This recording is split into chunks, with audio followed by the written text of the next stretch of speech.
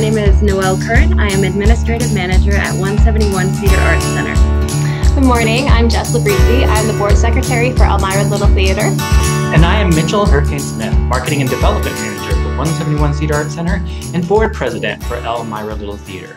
Welcome to the second installment of VirtYule, an online series of stories and songs to celebrate the season. We have a great show for you today. We're so excited that 171 and ELT are once again able to partner to provide our community with a little bit of respite and joy this holiday season. So true. Not only do we get to spread cheer to a larger audience, but we also get to celebrate what makes this community so special unity. Yes, because when we unite rather than fight with our neighbors, anything is possible. Whether we're fighting against the stresses of everyday life or dealing with a global pandemic, it's important to remember that anything is possible when we put our differences aside and work together. And isn't that what season is all about? I hope you enjoy today's show. I'm excited for this week's musical act. These two were last seen on stage together in Lake Country Players Legally Blonde. Kelsey Johnson and Alex Gill have produced an amazing mashup of We Three Kings and God Rest You Merry Gentlemen. And I want to thank Brooke Yorio for providing this week's testimonial for 171 now, without any further ado, ELT Board Vice President and my friend Alex Dell with his rendition of The Elves and the Shoemaker. Hello, and welcome to another segment of Elmira Little Theater's virtual, vir, virtual, vir, holiday reading series. My name is Alex Dell, and I'm the Vice President of Elmira Little Theater. I've been involved at the theater for about three years and I've performed both on the stage and helped out behind the scenes. Now, today, I'd like to read you the story of The Elves and the Shoemaker.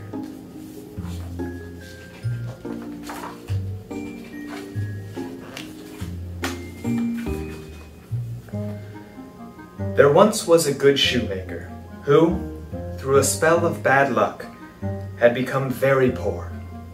Finally, he had just enough leather to make one last pair of shoes. Still, it is a fine piece of leather, said his wife, as soft as butter, yet as strong as your hands. Tonight, dear wife, I will cut the leather, said the shoemaker, and first thing in the morning, I will sew the shoes. The next morning, when the couple went into the workshop, they were flabbergasted by what they found. There on the work table stood two shoes, perfectly finished, not a stitch out of place. But, but who? How? sputtered the shoemaker. His wife could only stare.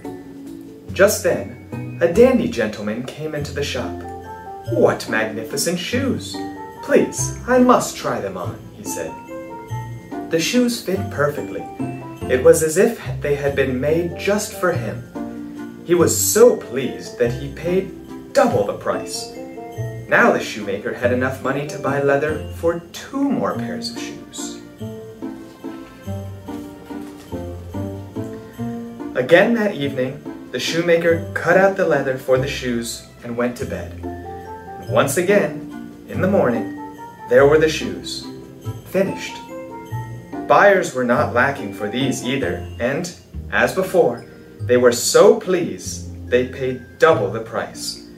Now the shoemaker had enough money to buy leather for four more pairs of shoes. The next morning, just as before, there the shoes were already made. On and on it went. Whatever the shoemaker cut out in the evening was finished by morning. Soon the news of these splendid shoes spread throughout the town, and the shoemaker and his wife were no longer poor. One evening, not long before Christmas, as the shoemaker cut the leather for shoes, his wife spoke. Dear husband, who has made us so rich? What if we were to stay up tonight and see who comes to our shop? The shoemaker agreed. So that night, they lit a small lamp in the hall, hid behind their coats, and waited. As the clock struck midnight, they heard the creak of a window and the scuttle of small feet. Peeking out from behind the coats, they saw two tiny children sneak into the workshop. They were poorly shod, and they wore only raggedy sacks for warmth. Elves, the shoemaker's wife whispered.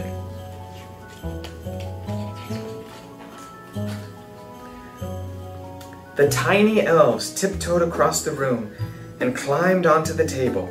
Then, humming and whistling, they began to stitch and saw and hammer so quickly with their little fingers that the shoemaker and his wife could not believe their eyes.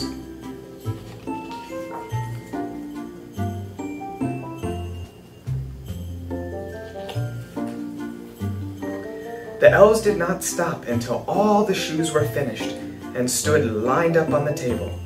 Sturdy riding boots, delicate slippers, feather-light dancing shoes, and heavy clogs for work. Then the elves tiptoed out of the workshop, up the stairs, and out the window. The next morning, the wife said, The little elves had made us rich. We must give them something in return. They run around with so little on they must be freezing. I will make a warm dress, coat and pants, and knit them each a pair of stockings. And I shall be happy to make them each a pair of shoes, said the shoemaker. They went right to work, and that evening they laid the presents on the work table.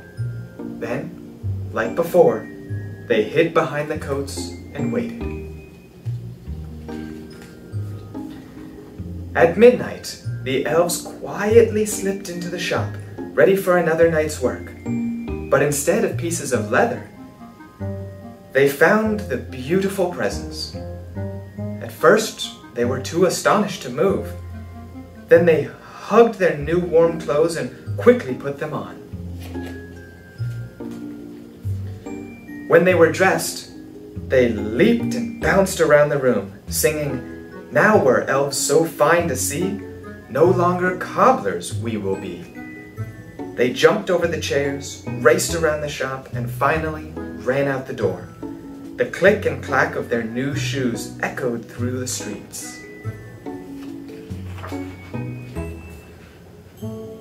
From that time on, the little elves were not seen again, but the shoemaker and his wife lived a long and happy life. Thank you for joining me for the reading of this book, and I hope you have a happy holiday season with your family and your loved ones.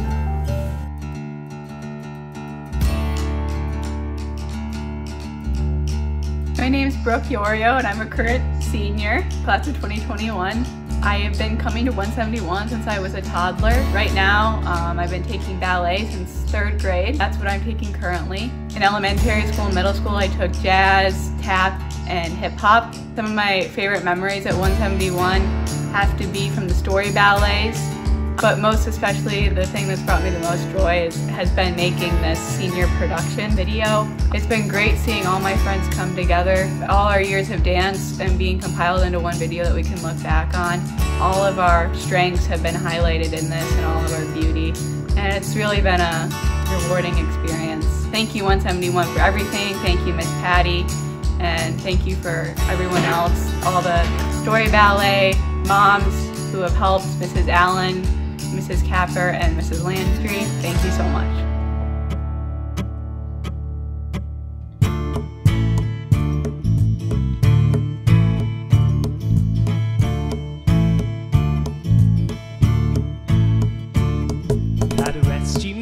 Gentlemen, let nothing you dismay. Remember Christ our Savior was born upon this day to save us all from Satan's power when we were gone astray. For tidings of comfort and joy, comfort and joy. For tidings of comfort and joy. From God our heavenly Father, this blessed angel came, and unto certain shepherds brought tidings of the same. How that in Bethlehem was born the Son of God by name. Oh, tidings of comfort and joy, comfort and joy. Oh, tidings of comfort and joy.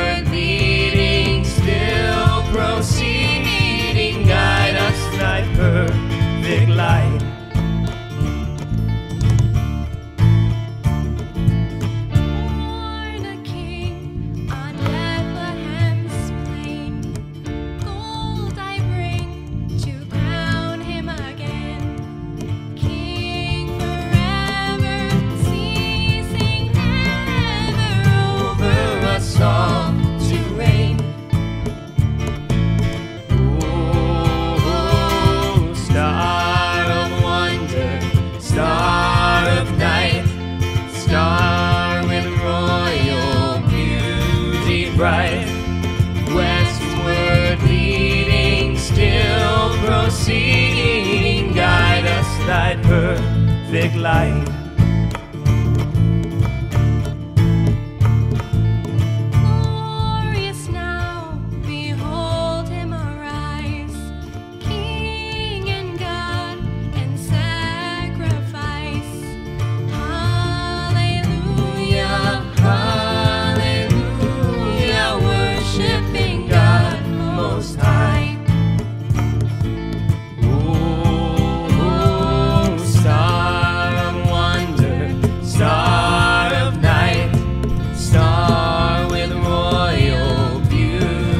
Bright, westward leading, still proceeding, guide us thy perfect light. God rest ye merry gentlemen, let nothing you dismay. God rest ye merry gentlemen, let nothing you dismay. God rest ye merry gentlemen, God rest ye you dismay. God rest God rest ye you dismay.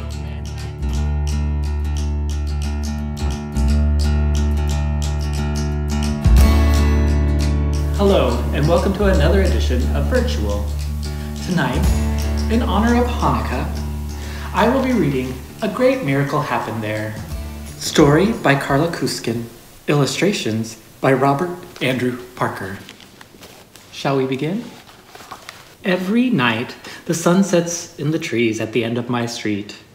Then, as the dark moves up the block, house lights and street lamps go slowly on. I live in the third house from the corner. If you walk by tonight, you will see the light of two bright candles burning in our menorah. This is the 25th of Kislev, and we are celebrating the first night of Hanukkah. My friend Henry, who lives across the street, has come over to watch us light the candles. Henry has a lot of questions. He wants to know what language menorah comes from and what Kislev means. He knows that Hanukkah is a Jewish holiday. Begin with those words Hanukkah, menorah, and Kislev. These are Hebrew words. Hebrew is a language that Jews all over the world have spoken for thousands of years. The Old Testament was written in Hebrew. There's even a Hebrew calendar. Kislev is one of the winter months. It comes about the same time as December. Henry admires our menorah. It is a special candelabra, a candle holder with nine spots for candles. It is used only at Hanukkah. My mother and I have polished the brass until it is the color of the setting sun. Your Hanukkah candles and my Christmas lights will shine across the street from each other, Henry says. My mother and I carry the menorah into the living room. My great grandmother brought the menorah with her when she came to this country to live. Now, I hold the match while my mother holds my hand, and we light the middle candle together. This candle is called the shamash, which means servant in Hebrew. The shamash is used to light the other candles. Well, that is how it serves them. Tonight, we light just one candle with the shamash. Hanukkah lasts for eight days. Every night we will light one more candle until, on the eighth night, the whole menorah is ablaze. When the flame jumps from one candle wick to the next and rises up in a graceful burning arc, my mother begins to recite the prayers, and I recite them with her. There are three. First, we say a special blessing for the Hanukkah lights. Then there is the blessing for the miracles that happened long ago. And then uh, we say the blessing that is said on the first night of every Jewish holiday. It is called Shehecheyanu. My father comes in, and he and Henry join in on the amens. I can see the two candle flames reflected in my mother's eyes. She has a thoughtful look. We are all quietly waiting. Then she says, A holiday usually celebrates something that happened long ago. And she begins to tell this story. Long ago, in the distant misted past, there was a king named Antiochus Epiphanes. He was very powerful, but he was neither wise nor good. Antiochus ruled many lands, and one of those was the land of Israel. Jerusalem was a city in Israel then as it is today, and the events that we celebrate at Hanukkah took place in that long ago Jerusalem and the rough countryside around it. Because the king ruled over many different lands, he ruled many different peoples. They dressed in different ways, spoke different languages, and followed different customs. When they prayed, they prayed to different gods. But the king did not care about the different ways and wishes of his people. He followed Greek ways. So he made laws that said everyone he ruled must wear Greek dress, follow Greek customs, and pray in Greek temples to Greek gods. Do as I say or die, Antiochus said. The troops of Antiochus marched into the beautiful temple the Jews had built in Jerusalem. They destroyed the holy scrolls and books and took the temple's treasure. They even scraped gold from the temple walls. Then they made a Greek temple of the place. Pray as I pray, Said Antiochus. or die. Many people were very frightened, so they obeyed the new laws. But there were some who were willing to fight and die for their beliefs. Not far from Jerusalem, in the city of Modin, there was a Jewish priest named Mattathias. He refused to follow the king's laws. When soldiers were sent to force the people to obey, Matthias was so angry that he killed a Jewish man who did obey the soldiers, and then he killed a soldier. At this point, my mother stops talking. She looks very unhappy. And then she says, Even though Matthias was angry at the terrible laws, he was wrong to kill people. Killing does not change the laws, it just brings on more killing. Absolutely, my father said quietly, and Henry and I nodded. My mother continues with the story. After Mattathias had killed the two men, he pulled down the altar in the temple of Modin. Then he cried out that everyone who believed as he did should follow him. Of course, he knew that if he did not run, he too would be killed. Many people who also hated the terrible laws followed him. Women, men, and children took their cattle and left their homes to live in the rough hills outside the city. Mattathias and his wife took their five sons. Their names were Johanna Gaddis, Simeon Thassi, Judah Maccabee, Eleazar Avarah, and Jonathan Apphus. Simeon was the smartest, while Judah was the strongest. When Mattathias died, Judah became the leaders of all the Jewish warriors in the hills. They called themselves Maccabees after him. Maccabee means hammer in Hebrew. And these warriors hammered at their enemy in many battles. Their fame spread. Their lives were very hard, my mother says.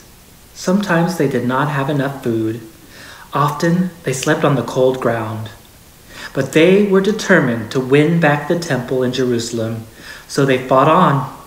King Antiochus knew of their strength and their successes. So he put an enormous army together to stop them. Then Judah said to his men, Be valiant. Well, that means be brave and strong. They were, and after many, many battles, they took back the great temple on Mount Moriah in Jerusalem. Well, now that should have been a most wonderful time for the Maccabees. Uh, They were returning to the place they loved the most in the world after long, difficult years. But the handsome gates had been burned. Rooms and altars were broken down, and there were weeds and rocks everywhere. Everything that had been neat, shining, green, and lovely was destroyed and desolate. What did they do? They went to work building, cleaning and making the place beautiful again. Then, when the temple was all ready, the priest blessed it and everything that was in it. All this happened on the 25th of Kislev in 164 BC. It is called the rededication of the temple. Rededication means the temple was made holy again and given back to the God of the Jews. Then those who were there lit the menorah and gave thanks and prayed. And now, more than 2,000 years later, we still light the Hanukkah candles and pray in the same way. There is also a story that when the soldiers entered the temple court, they found eight tall spears lying on the ground where they had been hurled. They took the spears and drove them standing straight up into the earth. Then they lit a flame at the top of each one, making the spears look like a candelabra, like the menorah. As long as the Jewish people can remember, it has been very important to always have a flame burning in the temple. This is called the eternal flame. Eternal means lasting forever. In those long ago days, the menorah had seven wicks dipped in oil. But oh, when the Maccabees looked for oil to relight the flame, they found that there was only a tiny bit they could use. Uh, most of it had been spoiled by Antiochus's soldiers. There was only enough good oil left to last for a single day, so the Maccabees were very worried. They were sure the flame would go out because they knew it would take them at least a week to get new oil. But amazingly, that tiny bit of oil lasted for eight days, and the flame kept burning. On the eighth day, the good new oil was brought to the temple. And that is why the menorah has places for eight candles and the shamash. It is why we light a candle every night for eight nights, beginning on the 25th of Kislev, the day of rededication. As my mother stops speaking, a few flakes of snow brush the window. We are all very quiet, thinking about the story. Then our dog barks. And my sister wakes up from her nap, and the front doorbell rings. My mother asks Henry if he would like to stay for dinner. He would. My father goes to get my sister, and I answer the door. My grandmother, Uncle Mort, Aunt Amy, and a couple of snowflakes come in. The dining table has been dressed up for the holiday. The tablecloth and napkins are even whiter than white usually is, and, and the glasses sparkle with the light of candles. Henry and I walk around looking at our faces reflecting in the spoons and knives. Next to each plate, there is a dreidel and a small package. Those are just little things, my grandmother says. When I was a girl, people didn't give Hanukkah presents at all. Henry and I shake the packages to see if we can tell what's inside them. Henry has never seen a dreidel before. Grandma spins hers, and Henry says, Well, it looks like a top with something written on the sides. Exactly, says Grandma. She shows us that the writing is four Hebrew letters, one on each side of the dreidel, and they stand for four words. In English, those words mean a great miracle happened there. Henry wants to know where there is. The land of Israel, says Aunt Amy. And who knows what the miracle was? asked my father. Henry and I smile at each other. We do. He is the guest, so I let him say, It was that the oil lasted for eight nights. We discuss miracles. Henry and I are pretty sure we believe in them. So does Aunt Amy.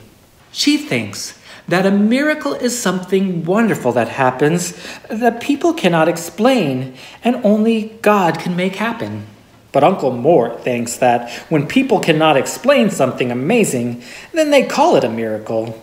He believes if we all knew enough, everything could be explained scientifically. Grandma doesn't think so. She says that the older she gets, the more things she can think of that cannot be explained in scientific ways. Then, Mother brings in the roast chicken.